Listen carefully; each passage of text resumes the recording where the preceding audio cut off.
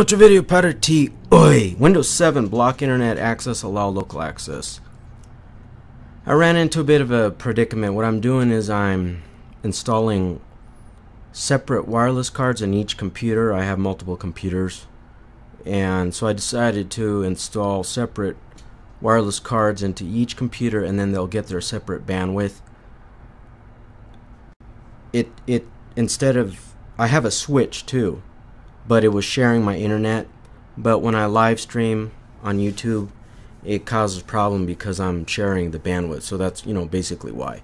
So what what my plan is for now is each computer will have their own separate bandwidth because they'll have a separate Wi-Fi card with just internet. However, I have other computers that I haven't upgraded yet. I haven't installed Wi-Fi cards in each computer. So that's why I have the switch too.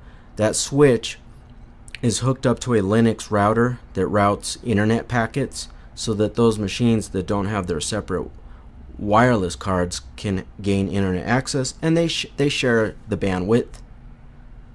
Well, I have a few computers now that have their own separate Wi-Fi card, so they have a wireless card and the you know the dedicated wired LAN RJ45 connection.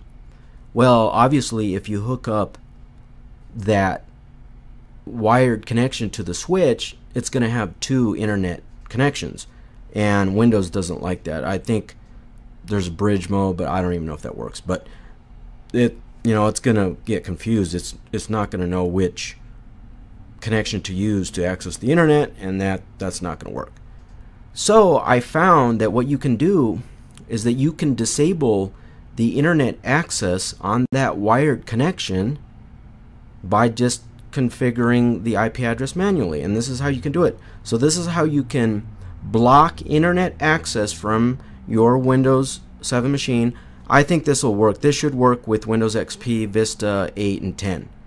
It'll block the internet access, but it will allow local access. Because I have a, a file server on my network and I have a you know, once in a while a printer, a wireless printer, and a wireless router. But it, uh, but and then I also like to remote desktop into my computers, and it's much faster if you try to do it over the internet, even within within your own computers using like TeamViewer.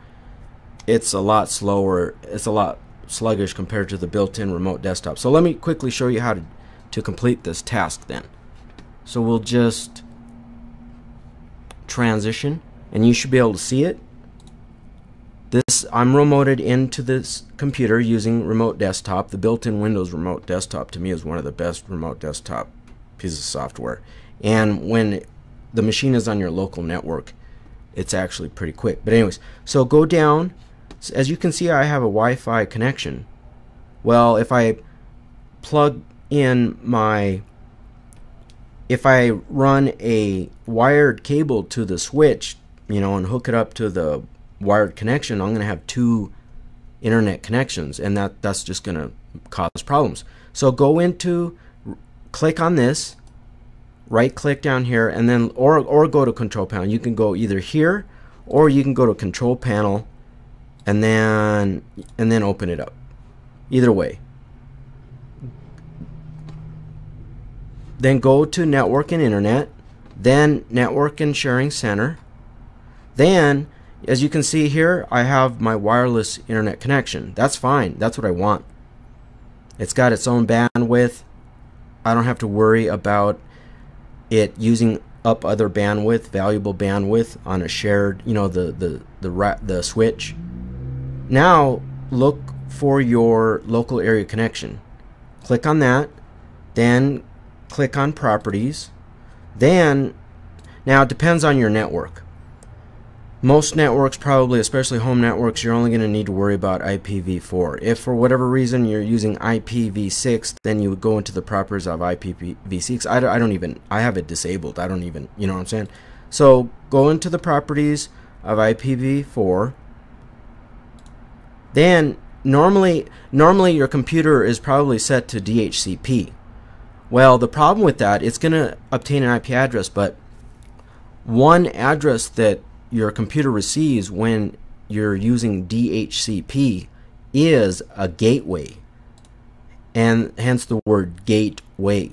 The gateway is the next router that's available that you know a lot of times not always but a lot of times your default gateway is your internet gateway. That's where the internet access comes from.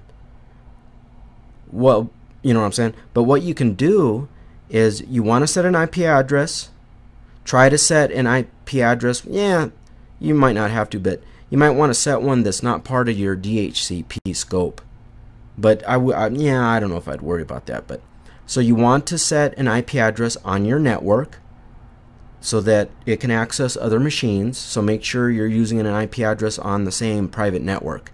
If you're using a 192.168.1 network, then you're going to use an IP address. If you're using like 10.1.1 network, you're going to have to set a 10.1.1 IP address. This the subnet mask is probably going to be 255, 255, 255.0 unless for whatever reason you're using a different subnet mask.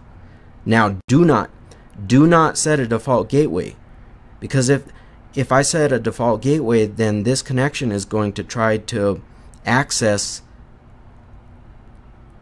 outside it's going to try to you know it's going to try to go outside this computer to the default gateway my default gateway is where the internet access is so this is what blocks it by you not setting a default gateway it blocks the internet access now this is optional you do not have to set a DNS server. The reason why I have mine set to the loopback is because I use this software that's it has its own cache. Every, all my computers have a separate piece of software that's a DNS cache.